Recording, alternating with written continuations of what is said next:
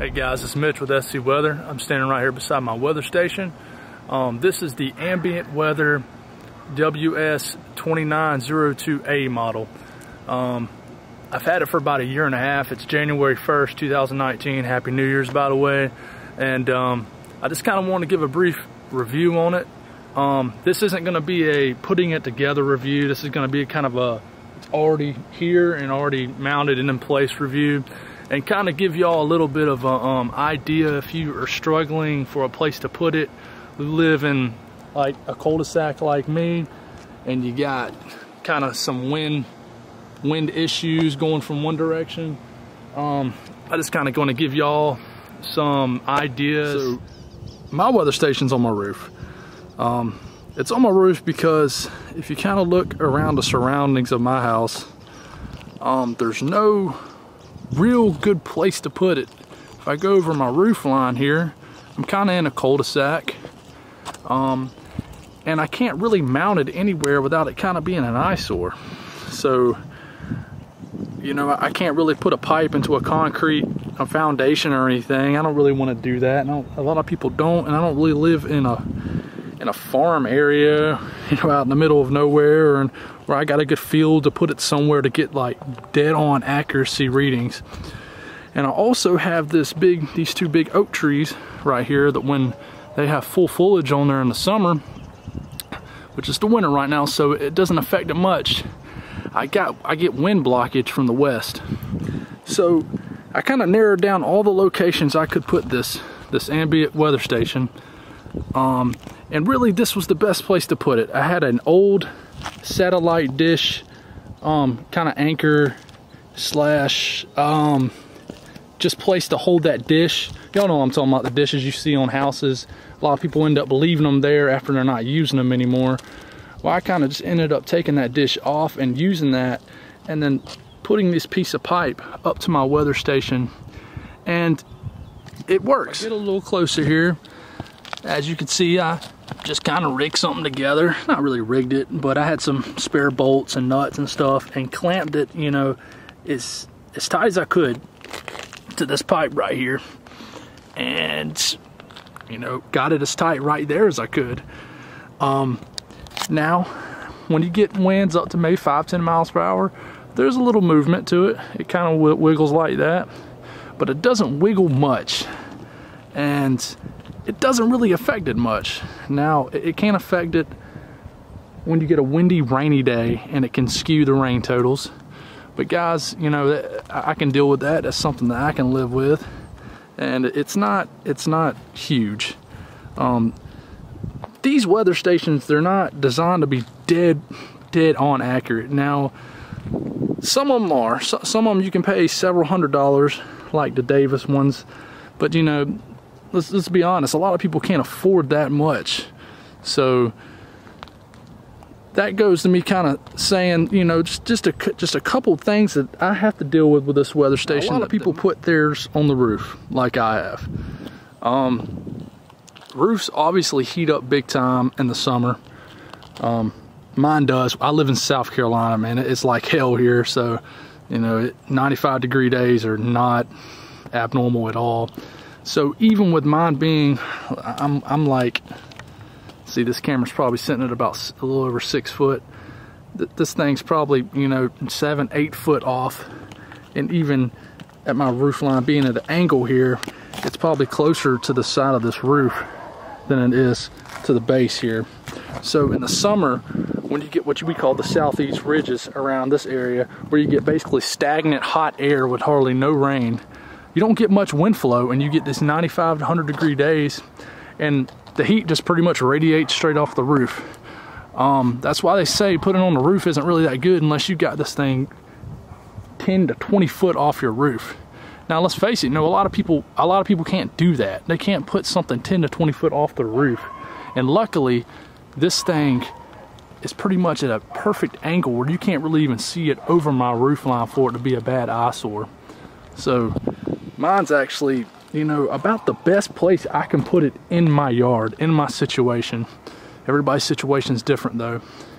So the thing that I have to struggle with the most, I'd say in the summertime, is like I said, in them hot, hot days where you basically get the heat from the roof right here and it radiates to that weather station and it could be about 90 95 degrees and you know it, the weather station say it's 92 the weather station might be reflecting 95 um, now those are the longer this normally happens on days where you get the um, higher sun angles. You get the longer days.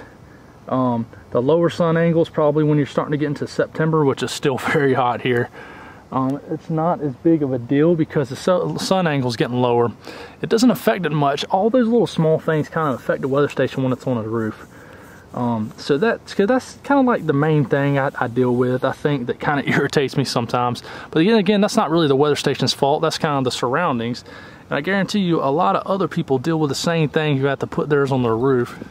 Now, one one big thing I recommend for any weather enthusiast who really wants to compare super accurate totals that you know are correct with your weather station is get one of these things right here.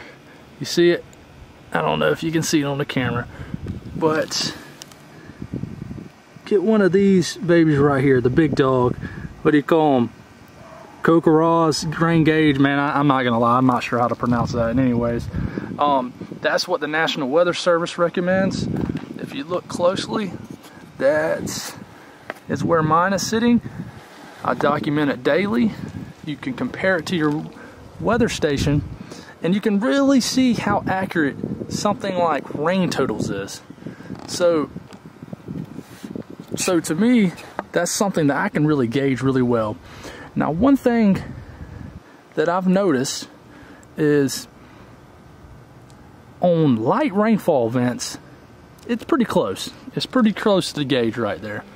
Um, heavy rainfall events like a thunderstorm right overhead, and that, and it's just raining buckets like an inch an hour. Well, around here it rains a lot harder than that, but um, the rain station off the off off the ambient weather station right here, it might say it rained an inch and a half of rain, but really the gauge down there might have totaled up to maybe an inch and a little, you know, a little bit of change, you know, but you kind of have to deal with that. Another thing is because mine has a slight wobble in the wind, and not everybody's does, but mine has that slight wobble. Um, I noticed when we've gotten a couple tropical storms and hurricanes pass close here, and you're getting kind of wind-driven rain, it wobbles a little bit. That'll cause that thing right there to set off again and set off more is what I meant, and it'll kind of give you a little bit of inaccurate totals. Um, that's why I recommend getting that, rain gauge by the National Weather Service.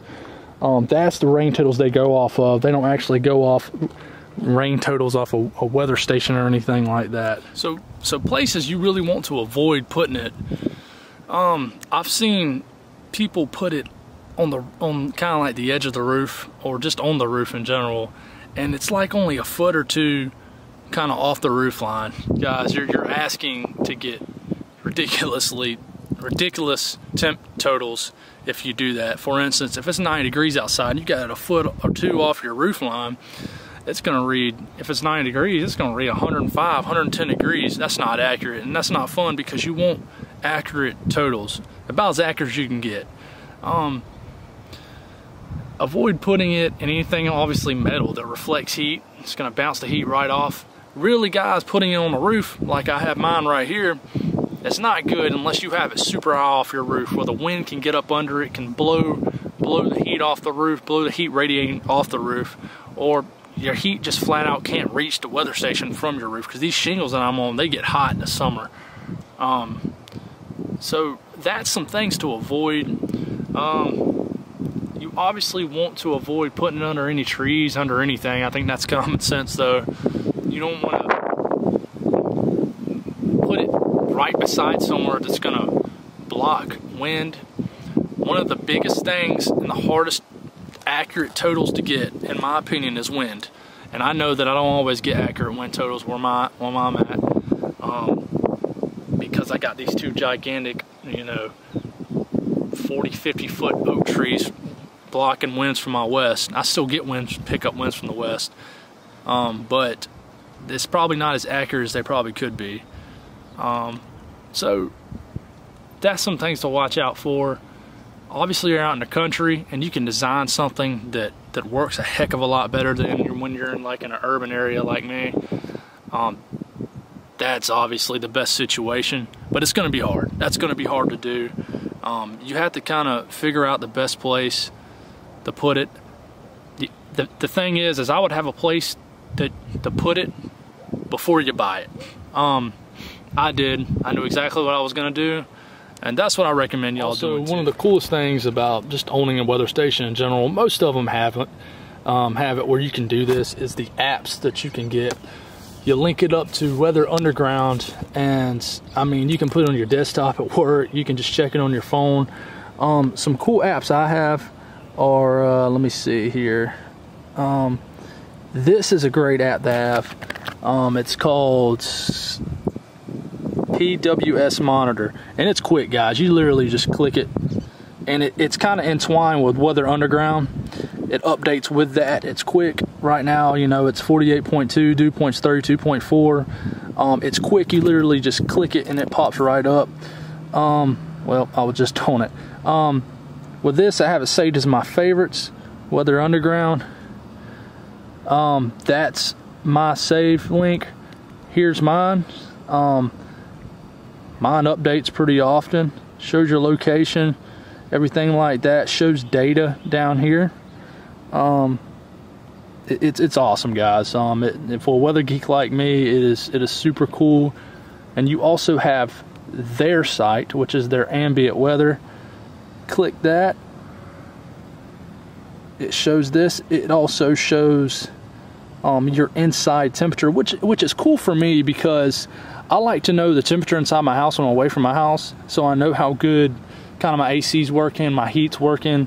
It kind of tells you if something's going wrong when you're away from the house, you know, and that's off the display inside the house that comes with the station. Um, that thing's cool too, but you, you, can, you just, you know, you got everything on your phone here.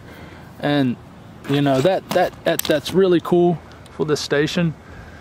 Um, I mean, you, you, you know if you're kind of away from work and I mean, you know if there's a storm at your house, but there's not a storm where you're located, you can keep track of pretty much how much rain's falling.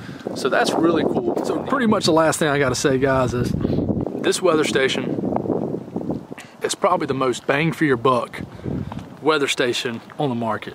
Um, I've had mine for a year and a half, and um, it, it's it's still holding up. It's good. It hasn't moved, hasn't broke hasn't hasn't felt fall you know you know it, it's awesome you know it's it's only 170 bucks on amazon probably the best place to buy it and i tell you what i haven't had any troubles with it it's pretty much accurate bang for your buck meaning it's the most affordable best weather station out there for 170 dollars you're not going to find a better weather station for that amount of money out there um, you know, I'm not the only person who said it. There's been a lot of other people who have said it too. Um, like I said, this is the only struggle that you're gonna find is, is depending on where you live, finding a good place to put it. But if you can get past that and you can figure that out, this thing's awesome. And uh, I recommend it for anybody. Thanks for watching, guys.